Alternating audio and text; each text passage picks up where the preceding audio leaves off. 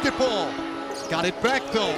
Jones in the lane! And the West Virginia Hall of Famer with the slingshot to send them to the quarterfinals in Dayton. 10 all of Sunday. Kelly, he missed the cut.